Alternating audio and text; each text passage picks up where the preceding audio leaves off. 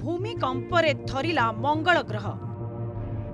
ଚାରି ଦଶମିକ ଦୁଇ ତୀବ୍ରତା ସମ୍ପନ୍ନ ଭୂମିକମ୍ପରେ ଦେଢ଼ ଘଣ୍ଟା ଧରି ଥରିଲା ମଙ୍ଗଳ ପୃଷ୍ଠ।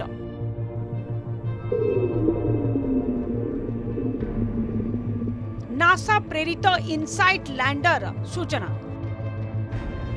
ମଙ୍ଗଳ ଗ୍ରହରେ ଅନେକ ଭୂମିକମ୍ପ ପ୍ରବଣ ଅଞ୍ଚଳ ଥିବାର ମଧ୍ୟ ଚିହ୍ନଟ।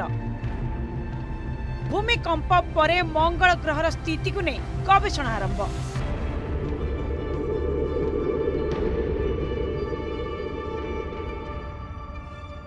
ମଙ୍ଗଳ ଗ୍ରହରେ ଚାରି ଦଶମିକ ଦୁଇ ତୀବ୍ରତା ସମ୍ପନ୍ନ ଭୂମିକମ୍ପ କାରଣରୁ ପ୍ରାୟ ଦେଢ଼ ଘଣ୍ଟା ପର୍ଯ୍ୟନ୍ତ ମଙ୍ଗଳ ପୃଷ୍ଠ ଥରିଥିବା କଥା ନାସା ପ୍ରେରିତ ଇନସାଇଡ୍ ଲ୍ୟାଣ୍ଡରରୁ ସୂଚନା ମିଳିଛି। ମାତ୍ର ଗୋଟିଏ ମାସ ମଧ୍ୟରେ ଏହା ଥିଲା ମଙ୍ଗଳ ଗ୍ରହର ଇନସାଇଡ୍ ଲ୍ୟାଣ୍ଡର ରେକର୍ଡ କରିଥିବା ତୃତୀୟ ଭୂମିକମ୍ପ।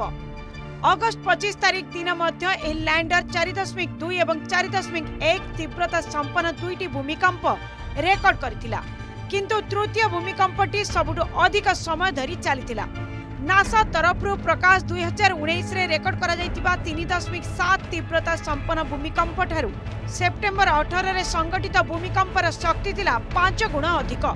ବୈଜ୍ଞାନିକମାନଙ୍କ କହିବା ଅନୁସାରେ ଇନସାଇଟ୍ର ଅବସ୍ଥାପିତ ହୋଇଥିବା ସ୍ଥାନଠାରୁ ପ୍ରାୟ ଆଠ ହଜାର ପାଞ୍ଚଶହ କିଲୋମିଟର ଦୂରରେ ଚାରି ଦଶମିକ ଦୁଇ ତୀବ୍ରତା ସମ୍ପନ୍ନ ଭୂମିକମ୍ପ ସଂଗଠିତ ହୋଇଥିଲା। ଇନସାଇଡ୍ ଅବସ୍ଥାନ କରିଥିବା ସ୍ଥାନଠାରୁ ପ୍ରାୟ ଏକ ହଜାର ଛଅଶହ ନଅ କିଲୋମିଟର ଦୂର ମଙ୍ଗଳ ଗ୍ରହର ସର୍ଭିସର ଫସି ଅଞ୍ଚଳରେ ପୁରାତନ କାଳରୁ କେତେଗୁଡ଼ିଏ ବଡ଼ ଧରଣର ଭୂମିକମ୍ପ ପ୍ରବଣ ଅଞ୍ଚଳ ଥିବାର ଚିହ୍ନଟ ହୋଇଛି ବିଗତ ଅଳ୍ପ କେତେ ନିୟୁତ ବର୍ଷ ପୂର୍ବେ ସେଥିରୁ ଲାଭା ନିର୍ଗତ ହୋଇ ପ୍ରବାହିତ ହୋଇପାରେ ବୋଲି ବୈଜ୍ଞାନିକମାନେ ସୂଚନା ଦେଇଛନ୍ତି। ଇନସାଇଟ୍ରେ ଥିବା ସିସ୍ମୋମିଟର ସାଧାରଣତଃ ରାତିରେ ମଙ୍ଗଳ କମ୍ପନ ବା ମାର୍ସ ସେକିଂର ରେକର୍ଡ କରେ। କାରଣ ସେତେବେଳେ ମଙ୍ଗଳ ଗ୍ରହ ଥଣ୍ଡା ଏବଂ ବାୟୁ ପ୍ରବାହ ମନ୍ଥର ହୋଇଥାଏ ନାସା ଦ୍ୱାରା ପ୍ରେରିତ ଇନସାଇଡ୍ ଲ୍ୟାଣ୍ଡରର ସୂଚନା ଅନୁଯାୟୀ ପୃଥିବୀ ପୃଷ୍ଠ ପରି ମଙ୍ଗଳ ପୃଷ୍ଠରେ ବି ଅନୁଭୂତ ହେଉଛି ଭୂମିକମ୍ପ। ମାତ୍ର ଗୋଟିଏ ବର୍ଷ ମଧ୍ୟରେ ମଙ୍ଗଳ ଗ୍ରହରେ ପାଞ୍ଚଶହରୁ ଉର୍ଦ୍ଧ୍ୱ ଭୂମିକମ୍ପ ସୃଷ୍ଟି ହୋଇଛି।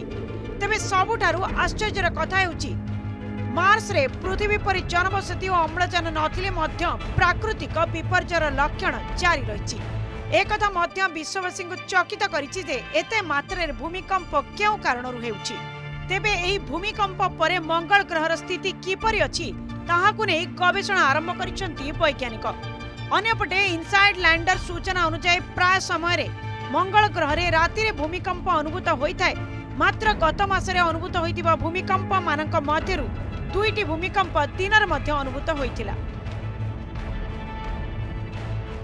Bureau report Argus news.